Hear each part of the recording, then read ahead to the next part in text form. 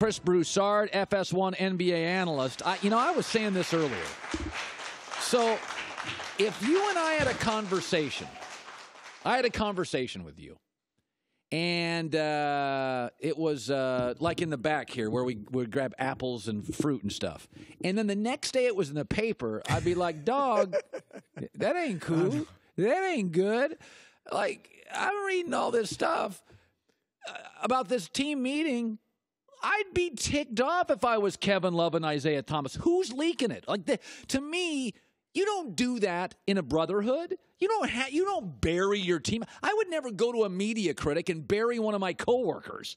Like I can't believe that stuff gets out. Kevin Love's a man. He's standing up there answering all these questions, and and I'm sitting there thinking, if I was Kevin Love, I would say, but my biggest issue is, how the hell do you know what happened? Who's leaking this stuff? I'm, I'm with you totally. Um, obviously, as a media member, you like those leaks. Sure. But yeah, as a player on that team, somebody in that organization, it, it, it may have been somebody in the front office. Really? I, I'm not sure it was a player. I don't know, but I, I would, if I had to guess, I would think more front office than a player.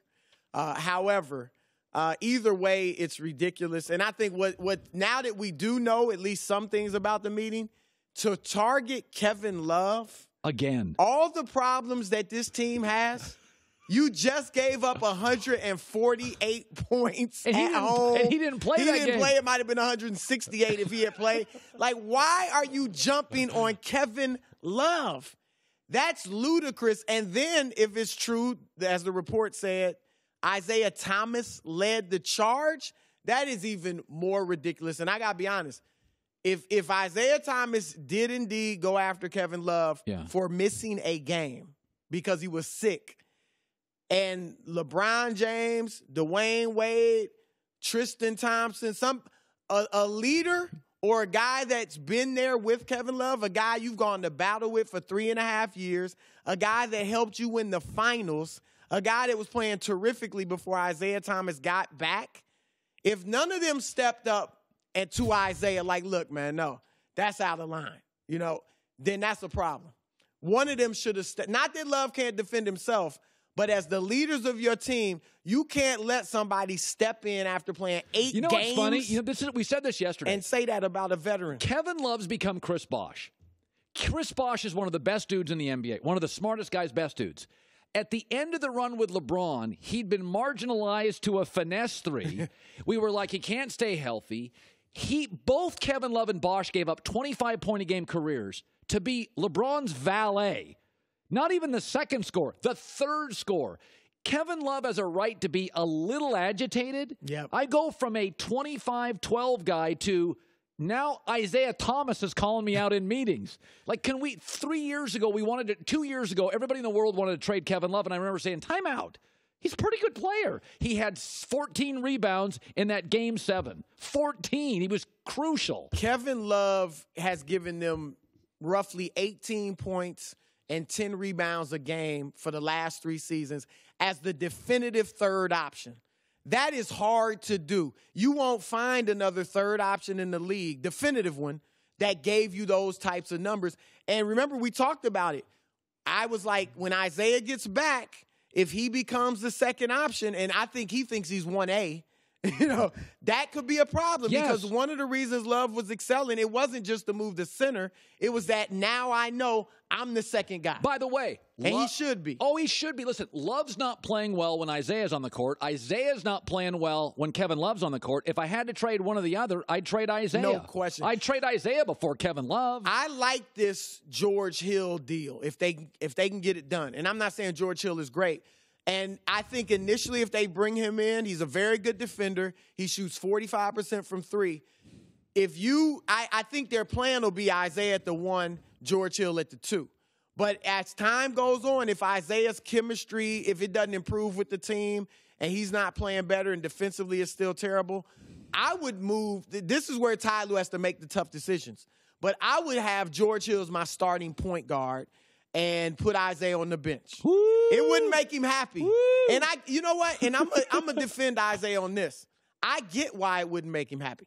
This is his one shot his one shot to get paid. He's never he made six million dollars last year and this year as the fifth MVP, like you know, fifth in the voting for MVP last year. This is his first and only chance to get close to a max deal. So he wants to shine, and I get it. It's Uh, a yeah, business. Yeah, but it's, But- it's it's not your team. It's LeBron. No, it's not. And so it, he, it's a tough, it's a tough situation in Cleveland. So there's a Nick Wright brought this up earlier. And and I and I'm trying to like I like to figure out kind of the big picture why stuff happens. Not just what happened. We know Kevin Durant got thrown out again, but like why is stuff happening? And there is this sense that, you know, socially, you know, the Warriors are smarter than everybody. They're early adapters.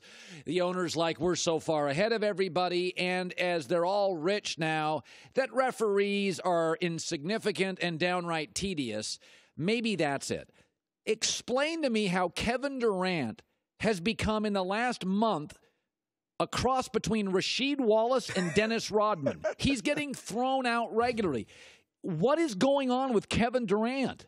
Yeah, and look, I'm very fond of Kevin Durant. I supported him when he made his move to Golden State. I've talked to him off the away from the game about spirituality and all types of right stuff. stuff. But yeah, right. He's it's almost like he's to me like losing himself to Yes. some degree.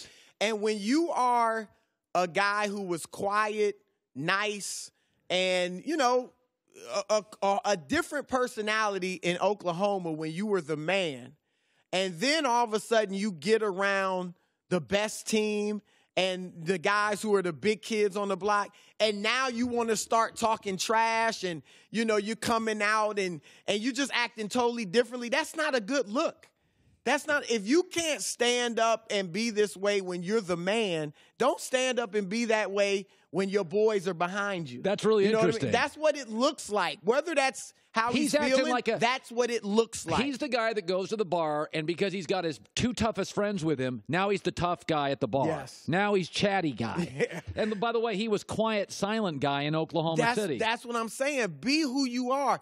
And I didn't like the other day when he called out Clint Capela. Yeah, like come on, dude. He that, that that is there's no reason. I just find it very interesting that Kevin Durant. I covered Rasheed Wallace. He's Rasheed now. Like he's going off the rails like once a week. Yeah, like you're that- like, that- dude. Last night he got ejected with what? Two, was there two minutes left? They were up 17. Like the game is over. Why are you concerned that you didn't get a little call on a drive to the basket? So the Celtics, uh, I told Kristine earlier, I, I don't losing streaks. You travel to the other coast. Boston's lost four straight. I don't make much of it, you know. I, and I said this. This sounds goofy, but sometimes teams get sick. Two guys get sick. Oh, yeah. You go on the road. They're It- not sick. I'm just throwing th- things like this in the NBA. Yeah. I don't make much of. Sh- they're a well coached team, and they'll get to the playoffs and host a bunch of series. I do notice this though. Jayson Tatum's hit a wall, and he's a big deal for them. He's a 19 year old. In January now, he's shooting 33 percent. Yep, yep. And I like no, no, that's something. Because by the way, you need him to be big to beat. You don't have Jae Crowder. You don't have Avery Bradley. Like you got two scorers now. And you're going to need Jayson Tatum to be double figures and play some defense in the postseason. Are you worried all about a four game losing streak and Jayson Tatum statistically kind of deteriorating? Like you said, the losing streak isn't a big deal, but Tatum's hit the wall. Not only him, Jaylen Brown, 41% in January. Oh. His, his shooting is way down as well. And they're two young guys. Jaylen Brown wasn't used to playing these types of minutes last year. Ah, so good let's point. watch it. But if those two hit a wall, which is understandable, almost predictable, this is an entirely different team. They can't score. They're not a big time scoring They're team. not. Defensively, that's why they're great. But offensively, they can't score. And back to Cleveland, this is why if you're the Cavs, and let's see, because you and I are kind of similar in this thinking that LeBron may be sending a message, and the players, because of him, a message to ownership. I believe he is. that yeah, Get, something, done. After the trade deadline, I want to see how the Cavs and LeBron play. The energy, That's the body told. language. That's what I've been saying. Yeah, if if because here's the thing, they have to realize nobody is going to kill you if you get swept by Golden State. You might give up 148 points every game. Nobody's going to kill you. They will kill you if you lose to Boston or Toronto or Washington or somebody like Yeah. that. I told Kristine, this is a weird thing that I've never discussed on the air. But January, we've had multiple team meetings in the NBA in the last two weeks. And I said, January's a weird time to be a pro athlete in the NBA. Your name's in the paper. Hey, honey, I'm being traded. We have to get our kids out of school and move. Yeah, it screws locker rooms up. If literally tomorrow you read in the paper, we're trading you to NBC, you'd be like, uh, honey, we, we got to move our family. So You're very you- right. You're so very in right. January, players are reading they're going to be swapped, and a lot of guys are like, "I thought my team loved me." Well, time out. You're trading me for that guy. So, like, I think January is a rough month psychologically for locker rooms. I, I agree with you wholeheartedly. Your average fan and person doesn't re- realize how tough this is on players. I mean, again, you, you just said it. Put yourself in anybody else's in their shoes. If you had, if you were walking around the halls and you saw your supervisors and you read that they were trying to get rid of you to bring in somebody else to do your job, It that would, bother you. It- I would go It home creates- that it would day. It would create yeah. stress all through my family. My kids would read about it. My wife would talk about it. My wife would complain to me. So I would be different here absolutely with the way you respond. I wouldn't people, be so, as yeah. brilliant as I usually am. Thanks for watching. Subscribe here to get the latest from the show. Also, be sure to check out more of the best clips from The Herd or go watch a few segments from our other shows on FS1.